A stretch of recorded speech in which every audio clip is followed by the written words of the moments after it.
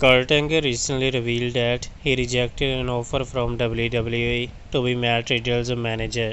During his Kurt Angle Show podcast, Hall of Famer Kurt Angle commented on potentially making a non-wrestling WWE return under the Triple H regime after previously turning down offers. Kurt Angle said, I'm happy doing what I am doing, but would I consider managing? Yeah, it would have to be right thing. It would have to be the right deal the right program. Not only that, but the money has to be right. So I will come back if everything is fine and I will go back to Vida as a manager role